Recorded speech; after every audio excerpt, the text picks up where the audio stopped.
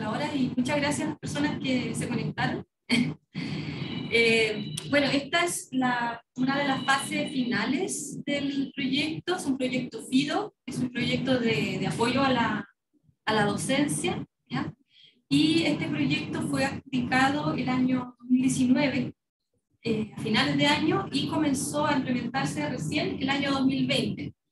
Y por tanto, eh, los resultados que, se van a exponer aquí son muy interesantes porque de alguna manera están permeados por toda la situación de pandemia que tuvimos que vivir el año 2020, que fue el, el, encuarentenarse, ¿no? El, el, el, confinamiento y todo aquello que también significó un traslado de emergencia, por decirlo así, a un aula que es remota.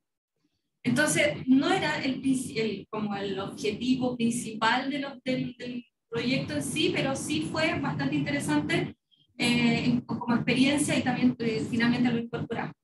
Entonces el proyecto se llama Perfil del docente universitario en alfabetización digital para la FID porque interesaba ver cómo, cómo era, eh, qué indicadores estaban presentes dentro de la alfabetización digital de los profesores y profesoras que trabajan en la formación inicial docente.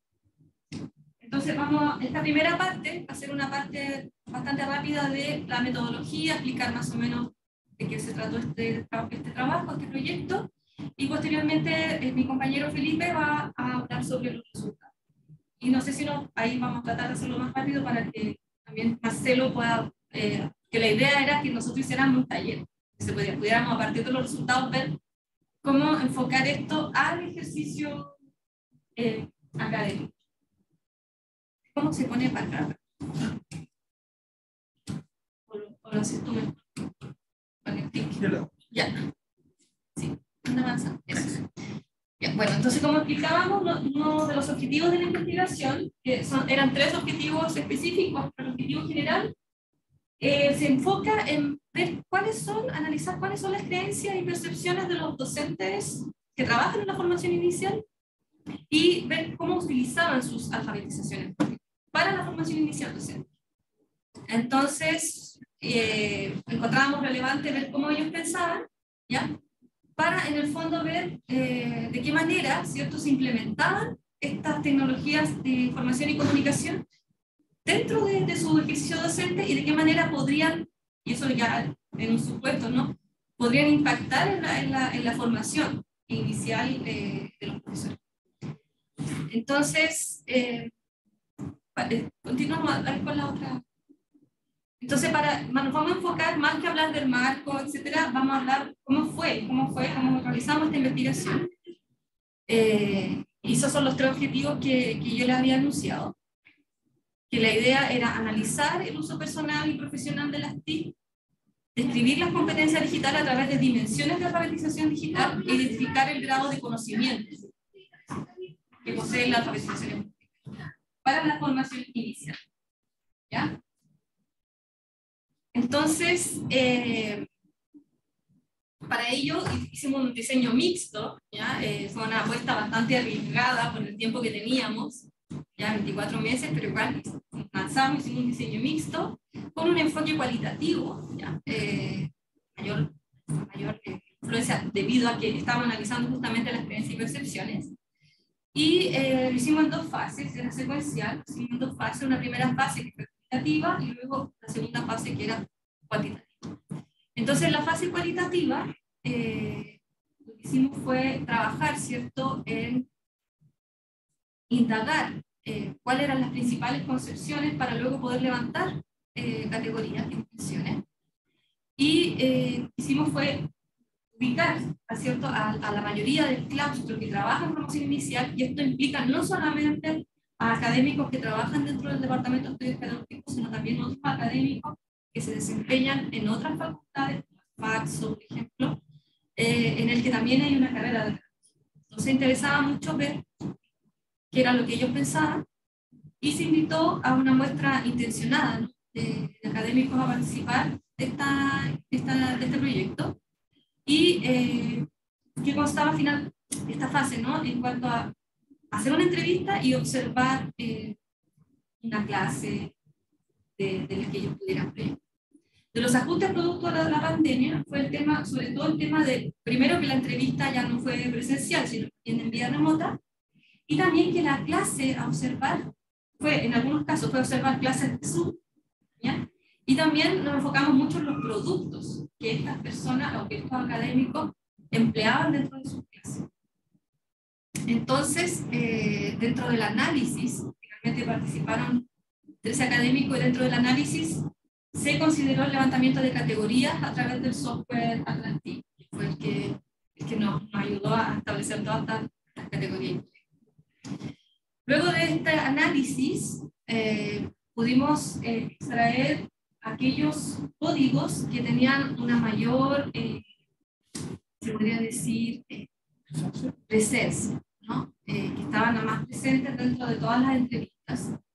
Y fueron las siguientes, eh, las siguientes dimensiones o categorías, que eran como usuario de tecnología, qué manera ellos se planteaban como usuario de tecnología, las herramientas digitales, cómo se visualizaban y cómo se utilizaban, el uso digital antes de la pandemia, antes del confinamiento, cuál es la formación digital que, que los colegas tenían en relación al uso de qué pensaban sobre las TIC, pero desde un posicionamiento pedagógico, y cómo eh, sentían ¿cierto? las TIC como un rol de formador de profesores. Ellos como su rol de formadores, eh, de qué forma veían la incidencia de que fueron aquellas dimensiones que más se destacaron y a partir de estas dimensiones es que dio pie para la fase cuantitativa. ¿ya? Y esta fase cuantitativa consistió en la elaboración del cuestionario, hasta nos arriesgamos en eso, hasta la elaboración del cuestionario, que, eh, que esto partió, ¿cierto?, con esta elaboración, con un pilotaje, posteriormente una aplicación, ¿ya? Una aplicación de, esta una, una aplicación de la, de la encuesta, ¿ya? Y del análisis de la, de la encuesta, ¿ya? Vino toda una reformulación de, del, del cuestionario. Entonces, en esta primera parte, ¿ya? Eh, solamente participaron 40 académicos y eso dio pie para la reformulación ¿ya? del cuestionario. Obviamente a partir de la, de la, asesoría, a partir de expertos, se hizo esta elaboración del cuestionario y fue finalmente el que se aplicó eh, a una muestra general y fueron 61, 61 eh, académicos solamente dedicado a la formación inicial docente, quienes participaron en la fase final de este cuestionario y donde pudimos, extraer finalmente los resultados.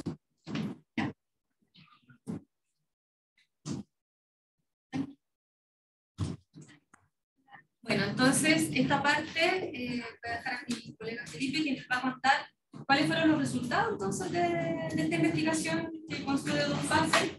La última la cuantitativa fue la que reveló finalmente todos aquellos objetivos que habíamos señalado en un principio. Muchas gracias. Sí, efectivamente. Eh, primero, buenas tardes a todos y a todas, presentes, también en Zoom.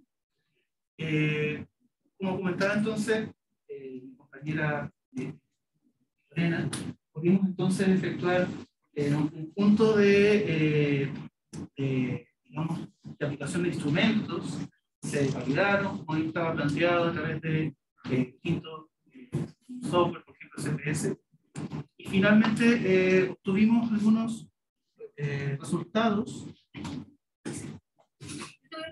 Sí, en función de sus categorías importantes que se obtuvieron a través de la aplicación de estos instrumentos eh, en relación con la, digamos, los sortes de, digamos, de los instrumentos que pudimos desarrollar, tanto en el contexto, fundamentalmente en pandemia, donde fue finalmente el foco en el que pudimos aplicarlo en el contexto cuestión.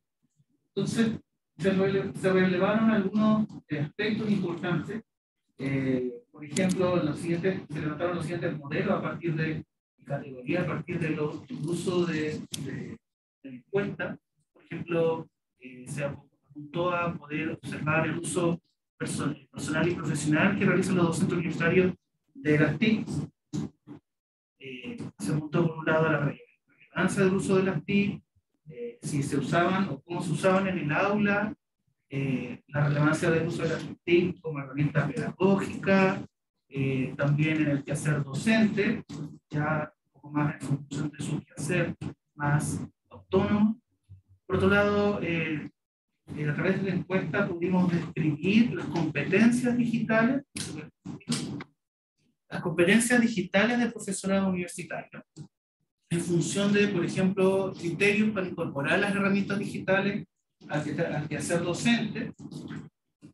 Eh, por otro lado, eh, se pudo describir a través de la encuesta las competencias digitales de alfabetización digital eh, de los docentes, apuntando a distintos aspectos que vamos a más en detalle, como por ejemplo eh, el aspecto de la ciudadanía digital, importante para incluirlas en los roles docentes, aspectos como consentimiento, en, digamos, en el uso de las estrategias o de las, herramientas digitales, eh, la ética frente a la propiedad intelectual, el uso seguro de Internet, la facilidad del acceso, el límite del acceso, el límite del acceso, del uso de redes para la protección de identidad de los estudiantes, opinión de estudiantes a través del chat de audio, por ejemplo. Fueron poco a poco a través de las preguntas de la encuesta describiendo estas categorías. Eh, además, el conocimiento finalmente sobre las alfabetizaciones múltiples para la formación inicial. Es decir, pasamos desde el conocimiento de las herramientas digitales, eh, describir también las competencias para, utilizar las alfabetizaciones, digamos, el uso de las TIC, para luego volcarlas en función, en función de su conocimiento para la formación inicial docente, cuáles son sus, cuáles fueron sus creencias en relación con el uso, de la, uso pedagógico de las TIC, o la relevancia de las herramientas digitales para crear recursos pedagógicos, ya como Marcelo tienen un poco un grado mayor de, la competencia en el caso de Estas son las distintas categorías que se pudieron levantar a través de la encuesta que arrojaron eh, algunas, eh, digamos, resultados, algunas, eh, digamos, se vieron algunos elementos de mayor, mayor recurrencia, por ejemplo, en cuanto a la relevancia pedagógica del uso de TIC, se develan dos dimensiones que son la, son la relevancia en la motivación y en la atención y en la relevancia didáctica para cumplir con los objetivos de aprendizaje. De alguna manera, eh, nos el hecho de que es relevante para los y las docentes, eh, eh, digamos, encuestados, por un lado, utilizar las herramientas TIC para la motivación, dar la atención de los estudiantes en formación, como también, los profesores en formación, como también la relevancia para cumplir los objetivos de aprendizaje. Por otro lado,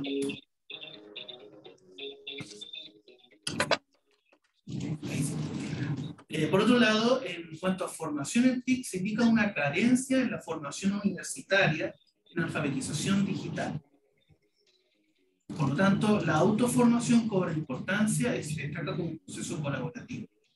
Entonces, en la formación probablemente inicial de docente, nuestra o de los, o de los eh, profesores, los académicos que trabajan en TIC o que trabajan en formación inicial, se vio eh, una especie de una carencia en este sentido y por lo tanto cobra importancia, dice allí, la autoformación en el uso de TIC y a través de un proceso colaborativo. Por otro lado,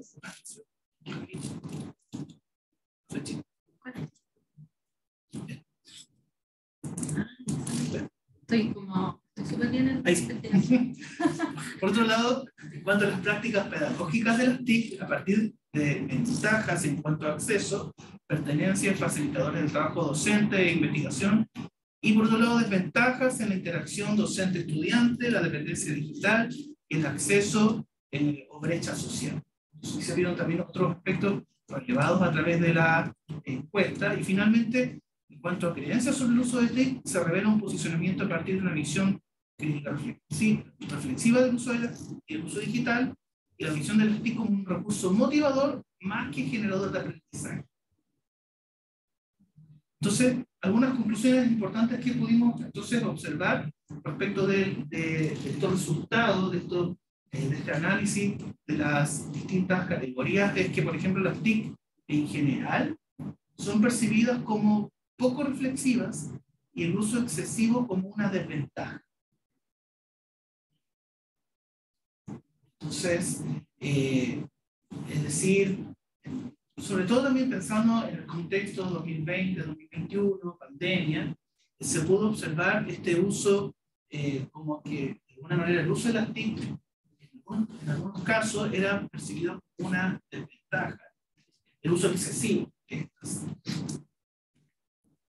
Si bien hubo un aumento en el uso de TIC, producto de que se utilizaron más plataformas digitales, en el contexto de pandemia, no se traduce en el desarrollo de competencias digitales superiores. Pues, pese a que estos académicos o estas académicas se perciben como alfabetizados digitalmente, las TIC son abordadas de manera tradicional y utilizadas para mediar el diálogo y la interacción principal. Para mediar el diálogo y la interacción principalmente, más que para el desarrollo de, por ejemplo, creación o de desarrollo, aumentar las competencias de los docentes. Otras conclusiones relevantes. Se puede percibir una pequeña diferencia de la visión de TIC de un enfoque técnico o uno más didáctico, en el que las habilidades de interacción están más desarrolladas. Es decir, cuando se circula más con el concepto de interacción entre eh, los docentes y sus la información, eh, hay una mayor interacción o hay una visión de un enfoque mucho más eh, relevante didáctico. Por otro lado, se puede concluir que las percepciones sobre el uso de las TIC influyen en las prácticas digitales didácticas de este grupo de académicos y académicas e inciden en la forma en cómo las conciben para el aprendizaje. Es decir, eh, que influye sin duda finalmente sus percepciones, la manera en que ellos perciben, el estudio mostró que percibían las TIC, finalmente la manera en que ellos conciben eh, o inciden en la forma en que ellos inciden, conciben el aprendizaje en relación con sus estudiantes, en relación directa. Es necesario profundizar la perspectiva reflexiva y crítica sobre el uso de las TIC. Eso también pudimos observar pero también los procesos de conocimiento que estimulan las alfabetizaciones múltiples, ya que el uso de las TIC se aborda de manera funcional a propósitos didácticos relacionados principalmente con la exposición de contenido y la motivación. Entonces, eh, en general, pudimos ver en el estudio un importante foco en este sentido, en la exposición de contenido, en la motivación para el aprendizaje, pero se tiene que profundizar, se tiene que estimular más en el académico y en la académica, en la perspectiva reflexiva y crítica. Entonces, esto de esta perspectiva tenemos ahí varios, varias conclusiones en función de los resultados. Eh, queremos ahora pasar a una fase de, eh, ahí tanto los que están en, el formato online como acá eh, presencial, pueden escanear el código QR, porque nos gustaría que ustedes ahora pudiesen pudiésemos dialogar, pudiésemos eh, interactuar en relación con qué ideas emergen sobre integrar las TIC en nuestro quehacer docente en formación inicial docente. Eh, les invitamos para que entonces puedan escanear este código QR eh, o entrar a menti.com, ahí está el código de acceso, para que podamos dialogar y ver allí ah, estas distintas, sus distintas percepciones.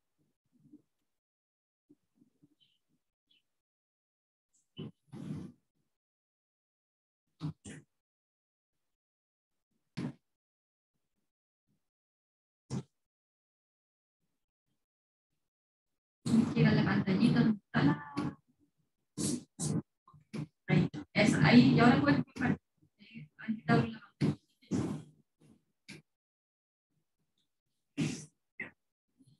Ahí tenemos algunas respuestas ya de algunos, docentes, invitados, invitados, que están aquí ya presentando en relación con la pregunta, ideas que emergen en relación de cómo integrar las TIC a nuestro quehacer docente en el contexto de la formación inicial docente, en la que bueno, la en general estamos invitados acá, nos involucramos.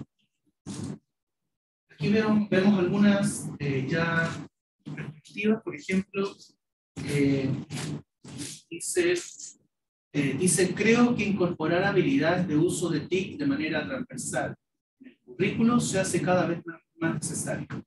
Las actividades de cada curso podrían incorporar trabajos con uso de TICs.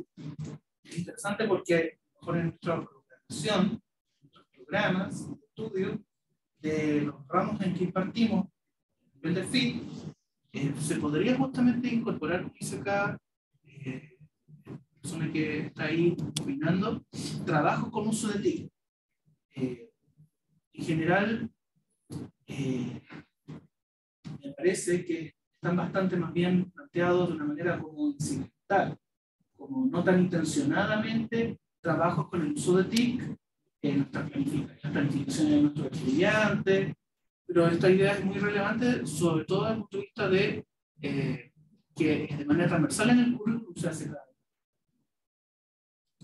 eh, acá alguien plantea la idea de que eh, se incorporen probablemente plataformas interactivas el trabajo pedagógico eh, creo que es importante considerar el objetivo de aprendizaje con las herramientas digitales. Interesante. Eh, hay objetivos de aprendizaje, eh, por un lado, para, nuestros estudiantes, para los estudiantes del colegio, justamente. Por otro, cómo de alguna manera nuestras, en los objetivos de nuestros programas de estudio, a lo mejor deberían vincularse mucho más, considerarse herramientas digitales, profundizar el desarrollo de la CDT, ahí quedó un poco pillo con la eh, de la. No sé quién hizo eso. Sí, a lo mejor alguien ahí puede indicarlo por el micrófono, levantar la mano. Eh, claro, pero profundizar. Digital. Competencia digital. No, no, competencia digital docentes. Competencia digital. Ah, exacto. Competencia el desarrollo de las competencias digitales docentes incorporando las TIC no solo desde la operacional, de lo operacional, sino desde un enfoque crítico y, flexible. Interesante, o sea, eh, en las competencias digitales, no solamente un enfoque operacional, que es lo que de alguna forma se planteó como resultado del estudio, eh, no solamente para cómo enviar un, un archivo, o no solamente para poder establecer diálogo, sino de alguna manera competencias que apunten a un enfoque crítico, flexible. Eh, por acá, dialogar a partir de la importancia de las TIC e intencionar prácticas reflexivas en cada uno de los cursos de formación inicial docente, principalmente en cursos que incluyen estas competencias. Efectivamente, hay cursos, ser en parte de un curso que tiene que ver con las competencias digitales o TIC, pero no solamente en este tipo de cursos, sino en distintos cursos de didáctica, arriba también un rojo didáctico. Es necesario transitar de una visión más técnica a una más didáctica.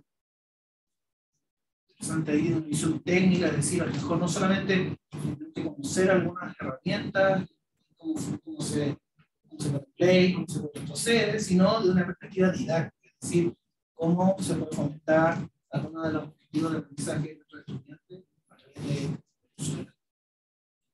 entonces aquí ya tenemos una primera panorámica, esta primera parte que vamos cerrando, tiene que ver justamente con, ah, hay otra idea más.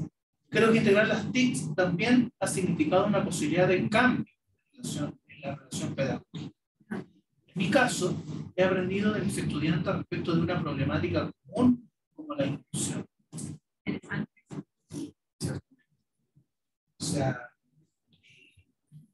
justamente eh, funciona en muchos ámbitos, ¿cierto?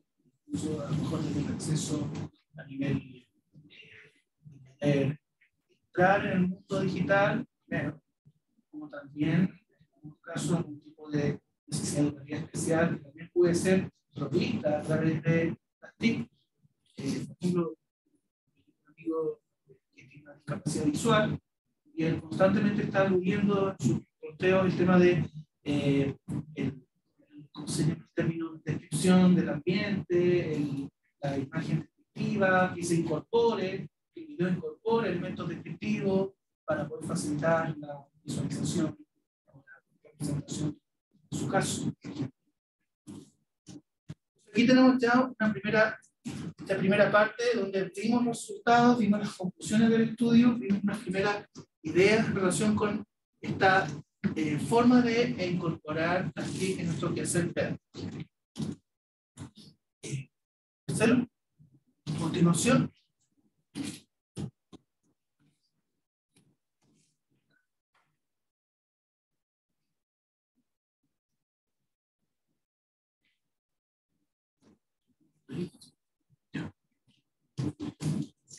Yo lo ahí.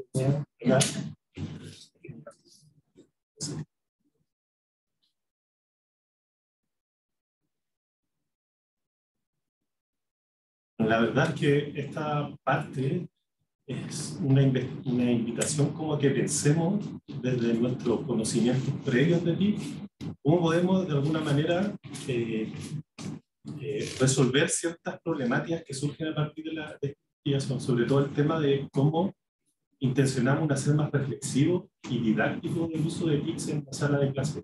Primero, eh, primero desde nuestro, nosotros como docentes, eh, y después de nuestros estudiantes, porque lo que pasa normalmente es que se repiten ciertos, ciertas eh, acciones eh, que nosotros hacemos acá en la sala de clase. Por ejemplo, usar la presentación como medio de exposición, que es lo que aparece mucho.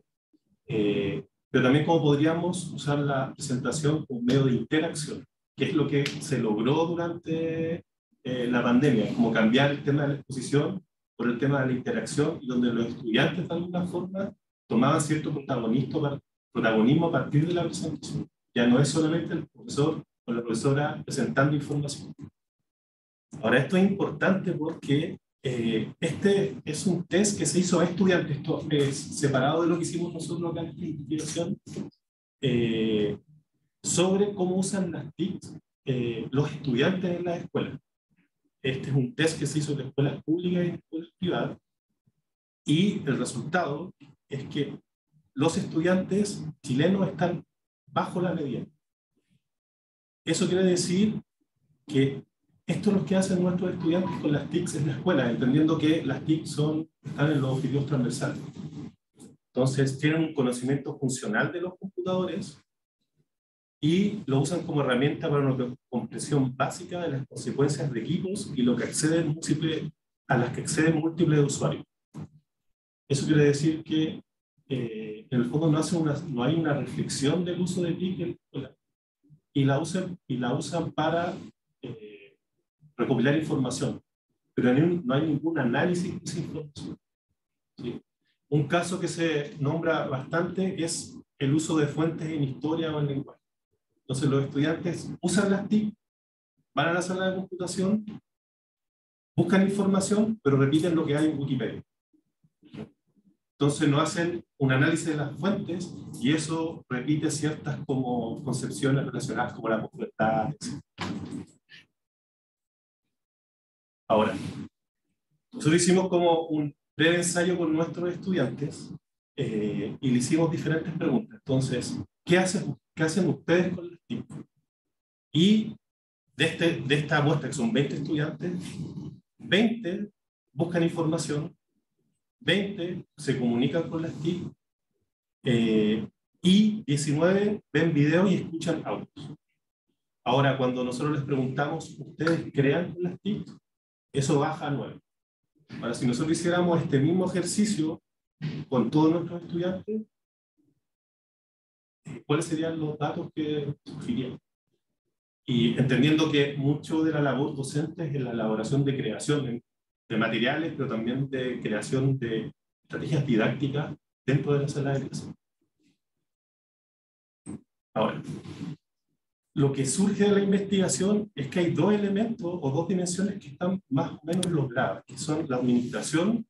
Nosotros hacemos como docentes de FI, hacemos un uso administrativo del TIC podemos mandar correo, podemos hacer una presentación, podemos levantar actas, podemos poner. Eso lo logramos. Tenemos una, una, un desarrollo de habilidades técnicas, las tenemos logrado. Y también entendemos que sirven para motivar a los estudiantes. También tenemos esa percepción. Pero hay tres ámbitos que aparecen un poco más débiles. que uno es la participación ciudadana con el uso de TIC, como que no hacemos, no profundizamos en esos temas.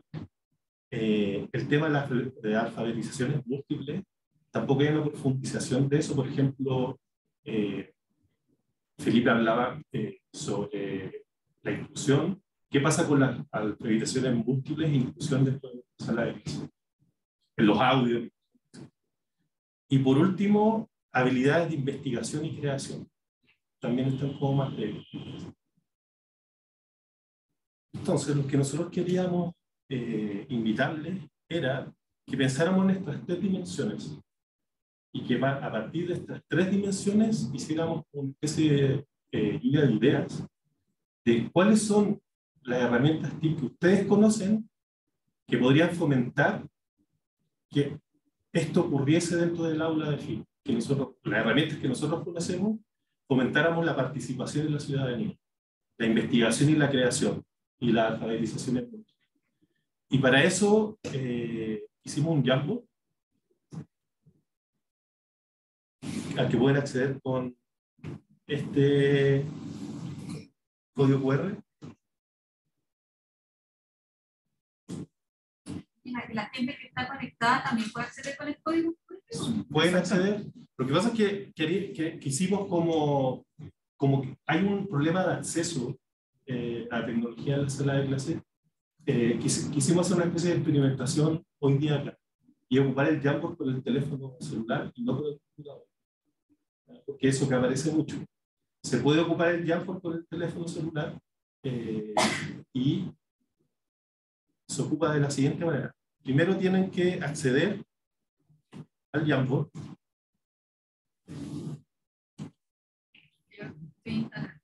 Tienen que instalarlo, se demora.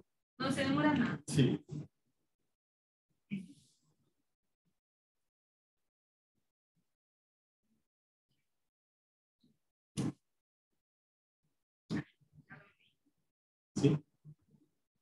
Oh, alguien está aquí. Ya. Hola. Ya. Entonces, funciona muy parecido a cómo funciona el computador. La diferencia es que acá abajo, donde está este lápiz, van a aparecer las acciones que se pueden hacer. Si apretan acá donde dice más, eh, le van a aparecer la, la, los POSIT. Y ahí en el POSIT ya uno puede escribir.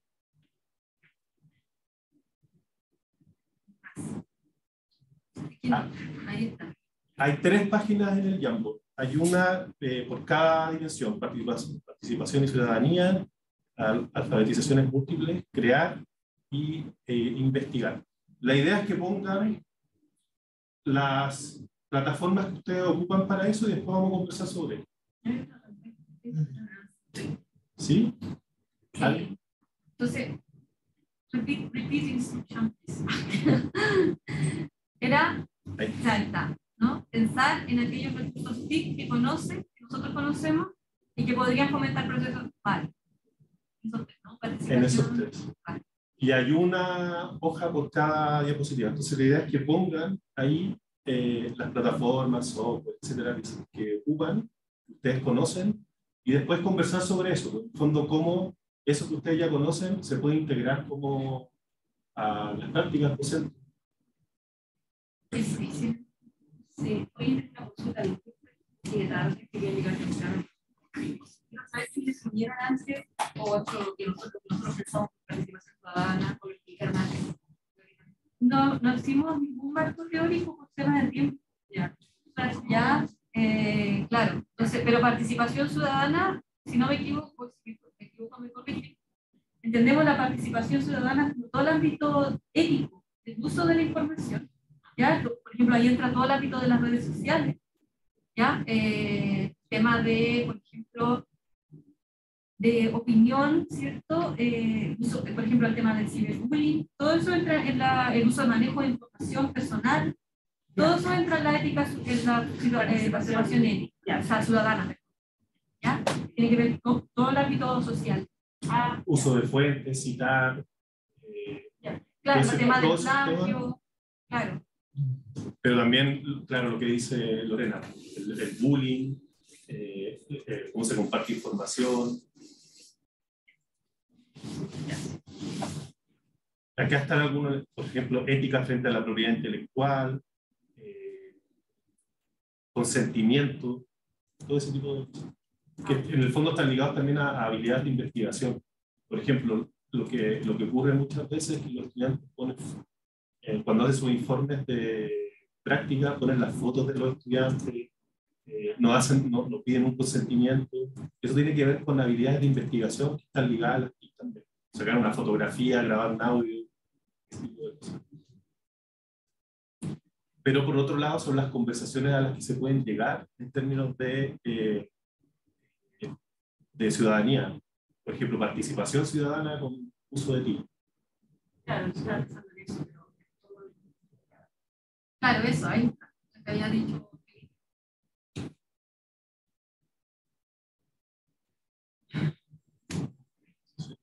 Voy a entrar Se ya. rayamos. ¿Ah? Se raya. Ah, que leer más. Yo quiero moverla, yo quiero mover el sticker, pero. Voy a entrar ya. Parece que, no sé si así se puede. Esa es una habilidad. Podríamos preguntarnos qué tan rápido resolverían esto los estudiantes eh, que están acostumbrados a usar celulares. Nosotros no. estamos acostumbrados a usar un- una pantalla, una tablet o un computador. Pero ellos están acostumbrados, hay una habilidad ahí eh, que también es, eh, es de motricidad, Sí. que claro, para los estudiantes de, incluso de, la- de nuestros estudiantes universitarios y los o estudiantes del colegio, quizás sería más rápido ese proceso. Pero quizás nosotros tenemos ese, esa frontera, por eso no la incluimos también.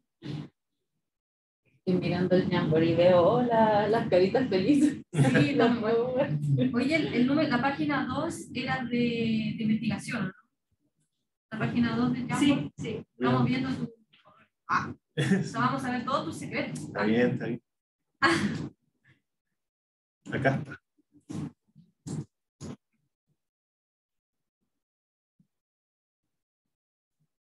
Eso, tú puedes mover más rápido la. Sí, yo no puedo mover aquí. Entonces aquí como profe, yo lo que puedo hacer es empezar a organizar esto. Entonces, en el fondo hay interacción de los dos lados. Está la interacción, uno como profe empieza como a ordenar esto para hacer, para la sistematización, pero son los estudiantes los que van concluyendo y van eh, poniendo sus opiniones en este tipo de plataforma. ¿Puedes proyectar la segunda hojita? Eso es súper importante. de.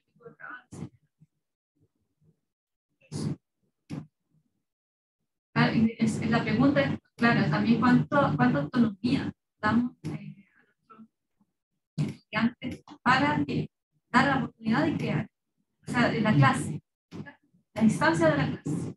Sí. ¿ah? O que la clase Porque general- quiere. Claro, que generalmente es profesor, profesora, profesores, expositor. ¿ya? Expositora. Y Exacto. alumno, estudiante, alumne, eh, ahí. ¿cierto? La idea, cuando hablamos de la, justamente de la tercera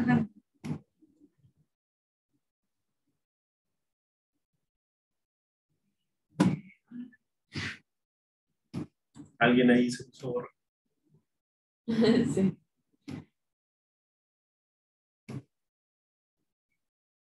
Conversemos sobre estas, estas que aparecen acá. Participación ciudadana. Está Twitter. Eh, ¿Quién de acá ocupa Twitter? ¿Sí? yo ocupo Twitter. soy tuitera, total. Pero más de retweet, no soy tanto de publicar contenido.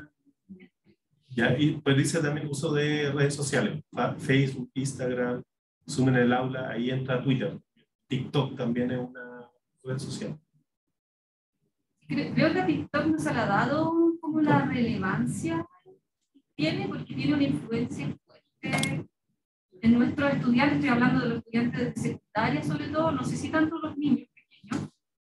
Eh, y creo que como tenemos que, como no podemos como profesores, estamos formando profesores, no podemos como ignorar que existen estas redes que en donde se genera contenido, en donde, y, y analizar un poco también el concepto de prosumidor, ¿no es o sea, de cuánto, cuánto tú creas y cuánto consumes, no son solamente que, que ven nomás. Entonces es interesante como ver qué se está haciendo en esas redes. Fija, Yo, yo no soy usuaria de TikTok para nada, pero sé que muchos, de- de- inclusive de nuestros estudiantes que van a ser profesores, mane- están en esas redes y, y consumen esas. No sé si son tan creadores de contenido, pero sí consumen esas. No te ríes. Me río. Apruebo. Apruebo. ¡Oh, qué bello!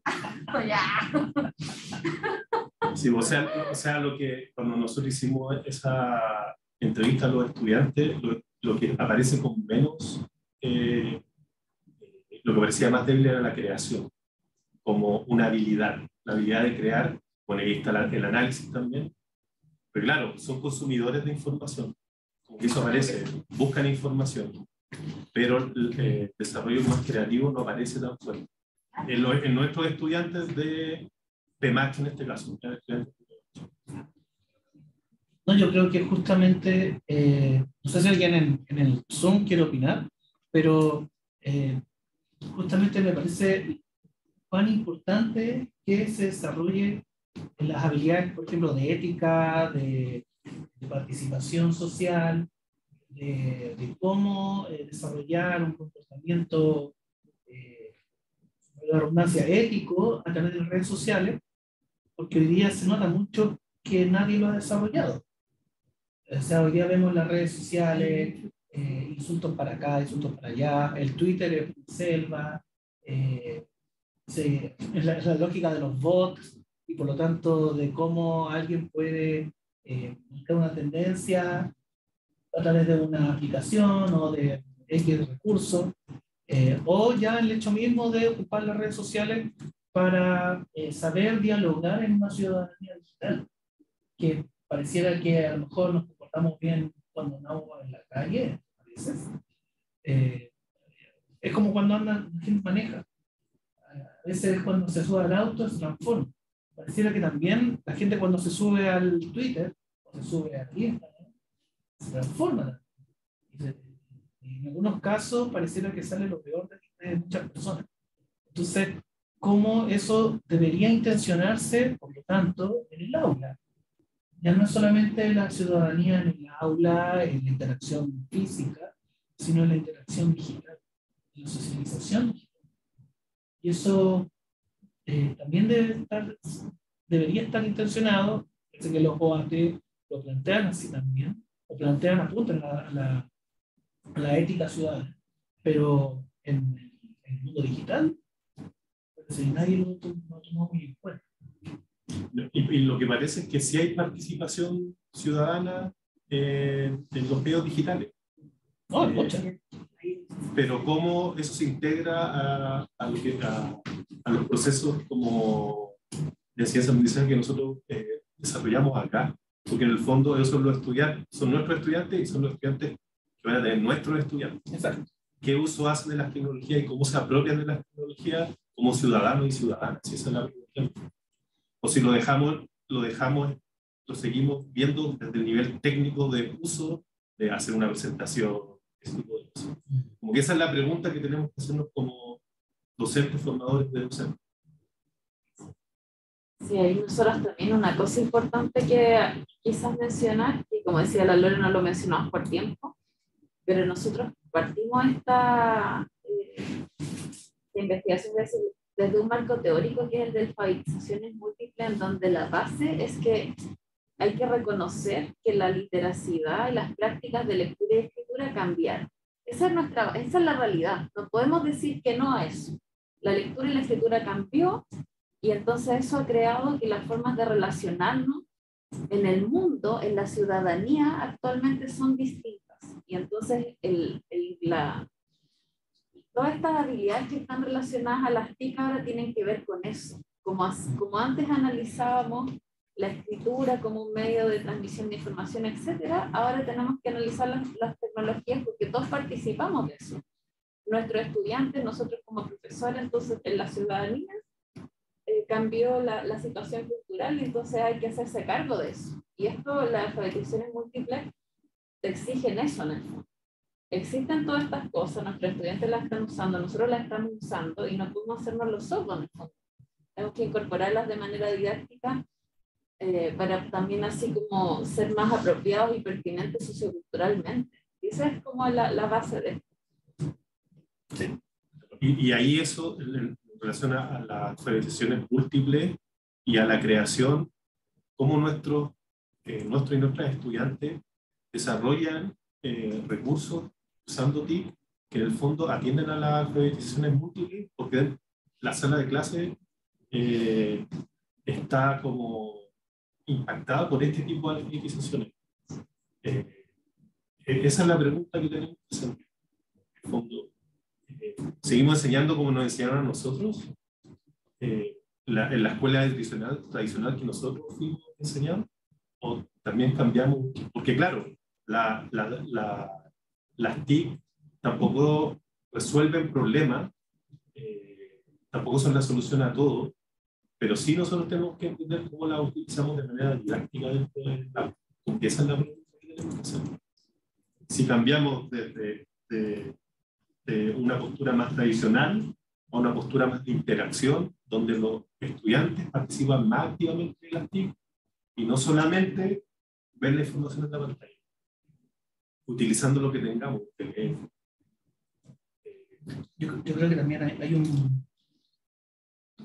hay un tema a nivel cultural que es importante relevar en este caso, que es que de alguna manera los géneros, eh, y por lo tanto las nuevas plataformas, las nuevas, eh, en algunos casos, eh, mucho se dice, por ejemplo, que Facebook ya quedó en el pasado, o que X generación ocupa Facebook X generación ocupa Instagram y, y X generación ocupa TikTok y, y, otras más que están apareciendo, eh, o el Twitch, por ejemplo.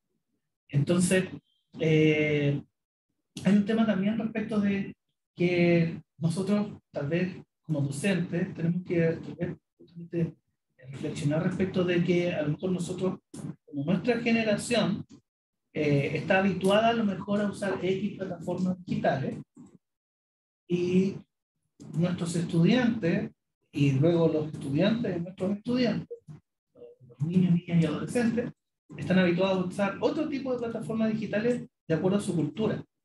El género responde justamente, el uso del género responde justamente a una, a una necesidad social. Entonces, eh, es interesante, por lo tanto, pensar que tenemos a lo mejor, no sé si que romper una barrera, pero sí pensar en cómo, para hacerme propio del, enfoque sociocultural que voy a trabajar con mis estudiantes, niños, niñas y adolescentes, voy a tener que también entonces ser parte, conocer, manejar códigos, géneros, que son parte de su cultura, de su, digamos, mundo sociocultural, distinto probablemente del mío, porque somos generaciones distintas y ahí hay una separación. Entonces, eh, la perspectiva del, del, y la docente de alguna manera tiene que, tiene que ser un constante, eh, un etnógrafo constante, como de recabar información constantemente de ya mi estudiante se está moviendo en esta plataforma, entonces, seguramente yo tengo que habituarme también en esos géneros. Eh, lo veo de tanto desde el punto de vista del lenguaje, que eh, día no es que los niños no lean o no, no trabajen o no desarrollen o no, no eh, usen la literatura para, para emocionarse, como, sino que están ocupando otros formatos de literatura que a lo mejor son distintos a los que, nosotros, los que yo fui formado. Entonces, eh, esa como constante reflexión también es parte de este, eh, saber usar.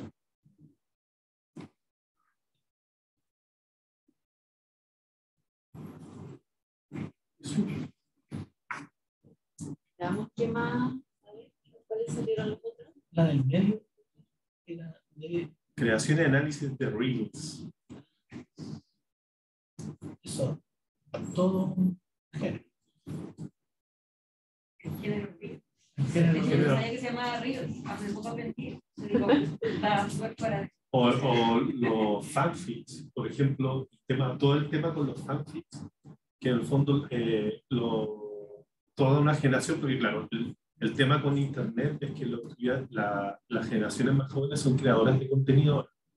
Entonces, cuando yo les le contaba a los estudiantes del lenguaje que una, una chilena había cambiado el final, había reescrito el, el libro número 5 de Harry Potter, no le había gustado el final o no le había gustado el libro, eh, y a partir de eso que ella escribió y lo discutió, eh, se creó como todo un nuevo, un, un nuevo como ecosistema de, eh, de Harry Potter.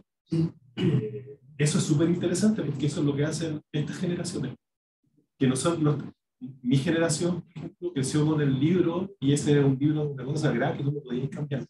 Ellos tienen esta otra manera de que pueden cambiar las cosas. Eh, y parece que eso sí ocurre fuera del aula, pero no dentro del aula. Entonces, claro, pues quizás podríamos cambiar todo un texto en vez de hacer un análisis solo de un texto y como si eso fuera una verdad. Quizás eh, los estudiantes eh, aprenderían más análisis de texto cambiando un texto, reformulando un texto. son cosas. Entonces, es mucho, mucho de, la, de esta generación de, de rehacer cosas, pero es muy poquita. Cuando uno les pregunta a los estudiantes cuánto crean ustedes con tecnología, también es muy, muy reducido la, eh, el grupo que hace eso.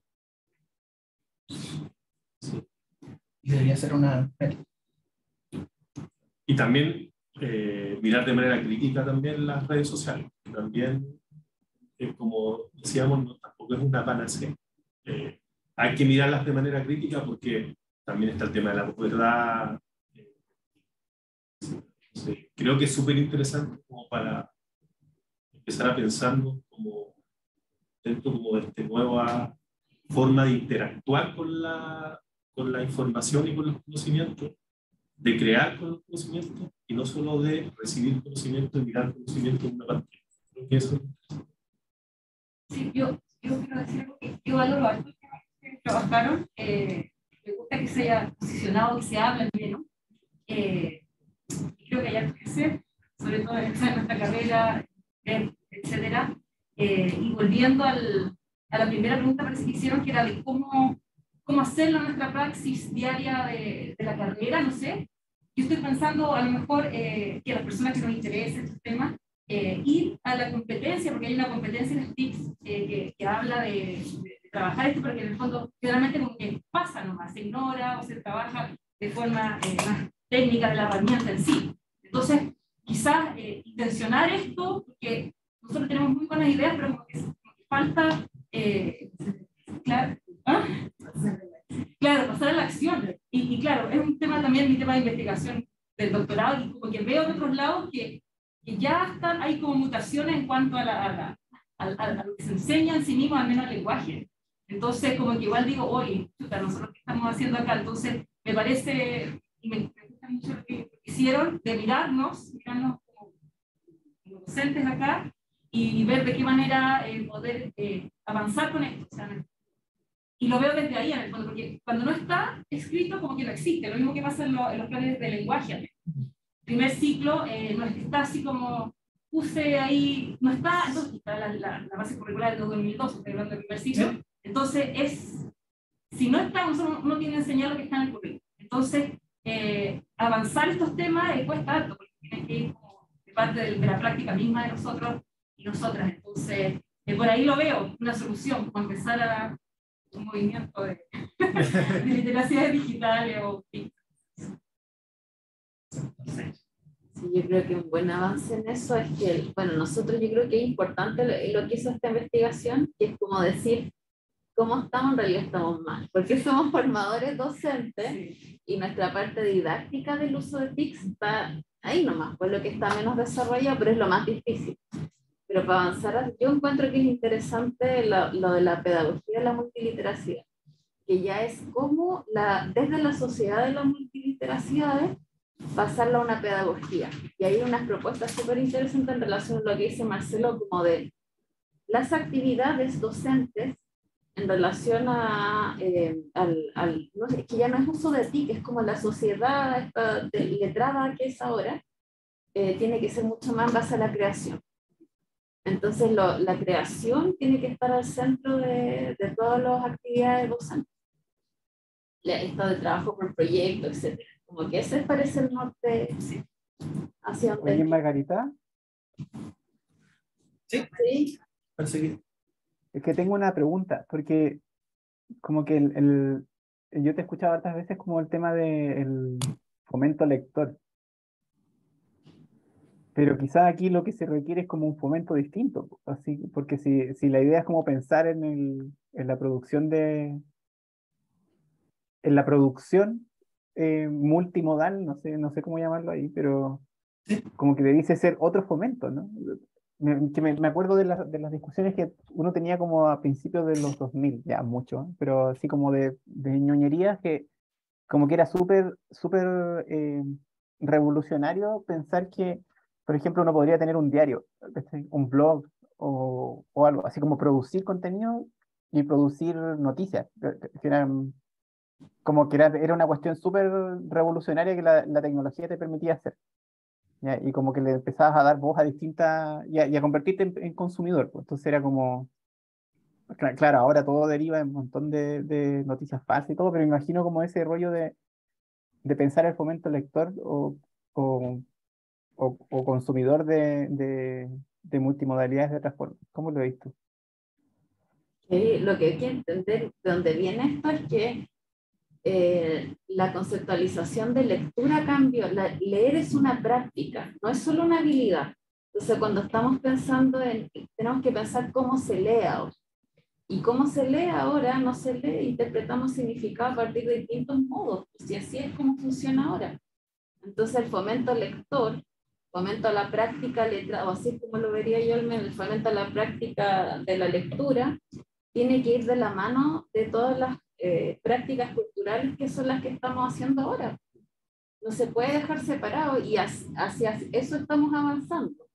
La política del libro la lectura ahora y las bibliotecas ya incorporó una línea digital, está como incorporado en el currículum también se está avanzando la reforma curricular, también va hacia allá, es hacia el reconocimiento de la lectura como una práctica. Eso lo que, lo que tú señalas es súper importante porque justamente la lectura siempre se ha visto desde un ámbito habilidades. pero no desde el ámbito sociocultural. La lectura es situada, tiene un aspecto que es social, etc. Por lo que me pasa, estoy organizando otra cosa ya. No, aparte que eh, hay un tema con respecto a, a la práctica pedagógica, porque efectivamente eh, el currículum está cambiando eh, desde esa perspectiva, tiene otro enfoque, incluso estamos hablando de un currículum del 2012, básica, 2015, educación media, eh, 2017, tercer y cuarto medio, que apunta, en general, apunta hacia, hacia las nuevas literacidades, pero es la práctica pedagógica finalmente donde eh, de alguna forma está el, el, el taco. Sí. Porque para empezar, nuestros y nuestras docentes en ejercicio, me toca trabajar harto con ellos, y ya el hecho mismo de, conte- de concebir un trabajo más centrado en habilidades y no tanto en contenido conceptual, ya es un cambio heavy en su práctica pedagógica.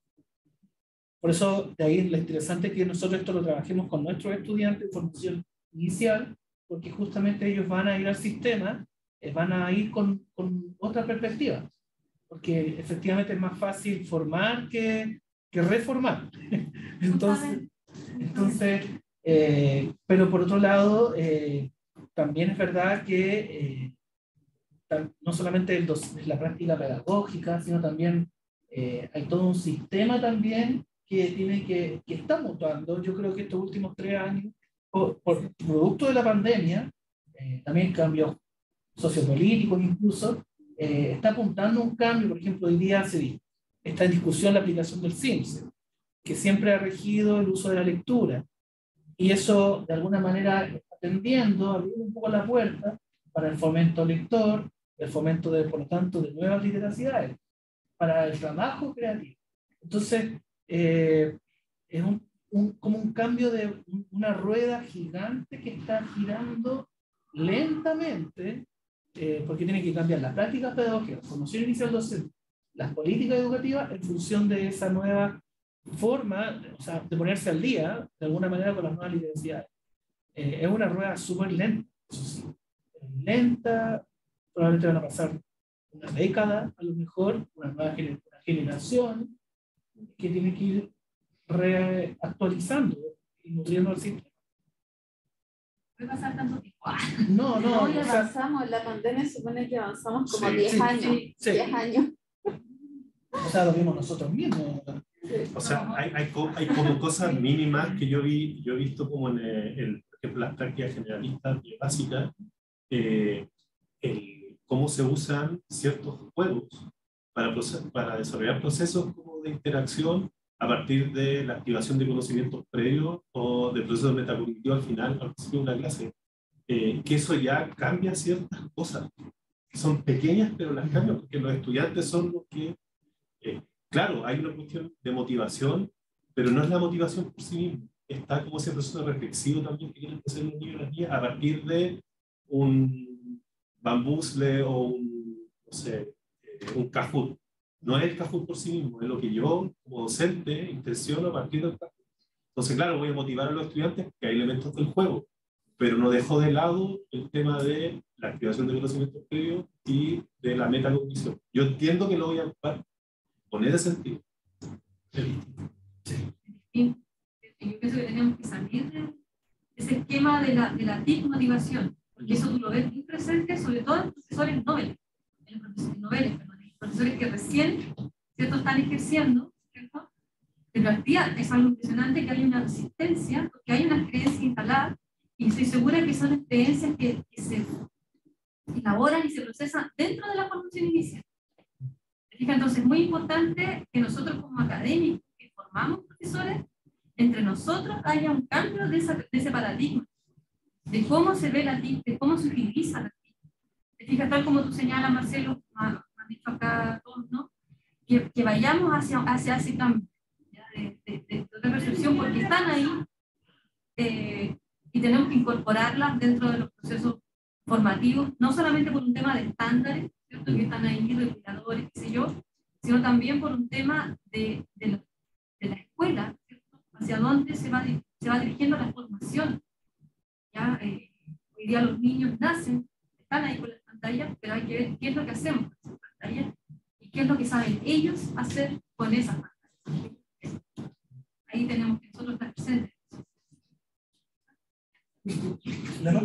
Eso, eh, en realidad es muy interesante todos los planteamientos, ¿ah? porque yo creo que nos, eh, nos desafía como docentes, ¿no? En términos de, eh, de, de nuevas formas de pensar también del estudiante. ¿no?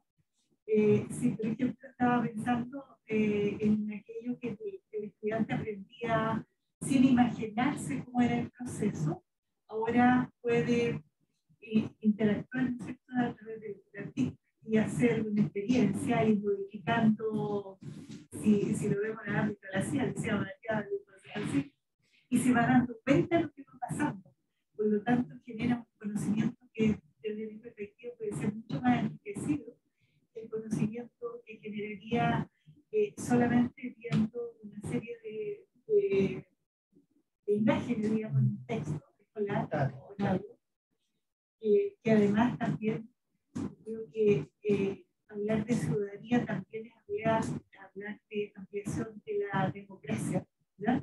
O sea, eh, ampliar el proceso democrático en este, en cómo se aprende también. Porque eh, si vemos, si el estudiante solamente está ligado a un texto escolar, eh, la investigación lo dice, ¿no? Cuando se hicieron estudios de los textos escolares, había diferencias bien significativas en aquellos textos que iban por el sistema público gratuito y aquellos textos que se compraban en el mercado. ¿no? Entonces, esto yo creo que también dentro de la, del ámbito de la ciudadanía eh, implica democratizar procesos y democratizar es ayudar al estudiante a pensar mejor y pensar de manera más diversa, más amplia. Y creo que en eso contribuye mucho el, el tener eh, buen acceso a la tecnología y pensar y trabajar con. Es un desafío también. Yo creo que ese tema del derecho también, del derecho que deben tener los niños, las niñas, los jóvenes al uso de las tecnologías con un fin reflexivo, también es algo que deberíamos como poner sobre la mesa, porque cuando se hizo, cuando se hicieron los dos SimCity, eh, pasa lo mismo que ocurre con todos los Sims. Eh, los estudiantes que hacían análisis eran los estudiantes que estaban en el colegio privado. Entonces, también se van repitiendo ciertas cosas que yo creo que tenemos que aprender también. esos mismos, eh, esos mismos resultados se repiten en cómo yo uso la tecnología, para qué la uso. Que lo que no podemos, lamentablemente, hay, hay una carencia material dentro de la educación pública. O sea, yo voy a contar un caso bien específico de un estudiante mío que hizo la práctica en el Darío Salas y tenía que pedir el proyector. Lo pidió en dos ocasiones. La primera, ay, se me olvidó, todos prestándolo, no había en la sala. Y el segundo, le prestaron un proyector y estaba mal. Entonces, ¿qué pasó? Utilizó el celular. Pero ¿qué pasó? Que como los estudiantes no tienen una cultura de su celular en el aula, se despistaron y al final hacían otras cosas y tenía que volver como a concentrar, ¿no? Una de las cosas que más le impactó a ese estudiante y me impactó a mí cuando le hizo portafolio fue que dijo que la clase, que después una encuesta, la clase que más recordaba a los estudiantes era aquella clase en la que él pudo mostrar imágenes, ¿cierto? Y interactuar con ellos, con esas imágenes que tenía que ver las guardias, y que se lamentaba profundamente y que producía una conmoción pensar en, aquel, en, todas aquellas oportunidades que los estudiantes no tenían por esa carencia material a mí me dio, me, me impactó mucho. Entonces el tema es que, claro, ¿cómo vamos cambiando el mismo, el mismo concepto que tienen nuestros estudiantes? Es un trabajo largo, porque hay una, ahí son, son creencias. Que Cuando hablamos de teoría implícita, que son estos elementos que configuran cierto modo de ver, es difícil, ¿cierto?, poder cambiar esas técnicas. Entonces, eh, estamos frente a, a, eso, ¿no? A una carencia y a la vez una forma de, de interactuar porque claro, podría haberlo hecho todo el tiempo con celulares, pero no todo, no todo se puede hacer con celulares, también. Entonces, es súper fuerte, yo creo que a todos nos pasó, a quienes pudimos ver prácticas este año, y hemos visto una diferencia abismal entre el colegio que es privado y el colegio público. Creo que las diferencias han acentuado enormemente. Y ahí tenemos nosotros, como una entidad pública también, una, una, una función, una misión sí, relevante. En los últimos años también se ha ido aplicando evaluaciones de manera online a nivel nacional a los colegios, con evaluación día, diagnóstico de aprendizaje, eh, tanto el año pasado, producto de la pandemia, como este año, como que se quedó un poco, no sé por qué están aplicando online, o sea, podría haber sido el papel, pero, efectivamente se está apuntándose allá, porque por ejemplo, el lenguaje hay preguntas abiertas. Los tienen que tipear. Eh, lo que yo converso con mis profes es, bueno, pero tenemos entonces que trabajar la, el tipeo en el teclado, porque justamente ya eso es una competencia en sí. O sea, ya no es solamente la escritura en el texto impreso, que eso de alguna manera se vio afectado durante el tiempo pandemia. O sea, hoy día creo que el caso del tercero básico 2022 es un caso, eh, digamos, complejísimo. Llegaron los estudiantes del tercero básico sin tener las habilidades de desarrollar libro básico. Un alto índice de estudiantes sin alfabetización inicial. Y por otro lado, se le está pidiendo también a los estudiantes que produzcan digital. Y eso también llama a que, en el área del lenguaje, tiene mucho que ver con, con la producción en general, eh, tiene que entonces estimularse, tiene que incluirse, tiene que trabajarse. O sea, ya no es solamente el tema de la caligrafía, eh, sino también está el tema de eh, tienes que ocupar los dedos, tienes que aprender a teclear. Eh, o sea, es interesante cómo vuelven las cosas lo que antes se enseñaba como mecanografía, eh, hoy día tiene, también tiene una incidencia en la manera en que los chiquillos van a poder desarrollarse en el siglo XXI. Entonces, es increíble cómo eh, se están relevando las TIC eh, y, y, de alguna manera tiene que incluirse, por lo tanto, en la dieta. Saben que yo voy a, tengo que salir. Nosotros tenemos preparado un cóctel ¿ya? para cerrar este evento, así que están cordialmente invitados, invitados a la sala de reunión a atender, ¿ya? en un ratito más. Eh, voy a avisar para, para que asistan, ¿ya? porque ahora yo voy a, a recibir a Ignacio, que trajo las cosas. ¿Ya? Gracias. Entonces, eso, sí. eh, y rápidamente me, me despido agradeciendo, ha sido muy interesante y agradecer a todas las personas que asistieron de formato híbrido, o sea, en línea, y a los que han venido acá. Si yo vengo, ahí nos estamos. En el ¿ya? En el coffee break. Nos vamos para allá entonces. Sí, veamos si hay- Sí, y agradecer también a los que participaron, los que dieron la encuesta dos veces, todo ese proceso que fue como bien. Abundante. Y, sí, parece que, no sé si alguien del, del, del Zoom quiera señalar alguna conclusión o alguna opinión final. Eso también hay que incorporarlo en la ¿eh? de que hay que. Sí. Efectivamente. Pero se piensa Oye, podría tener la, la presentación. Sí, Sí, de hecho, estamos viendo justamente la posibilidad de subirlo a YouTube. Ah, la la grabación más presentación. No, pero sola. la presentación Sí.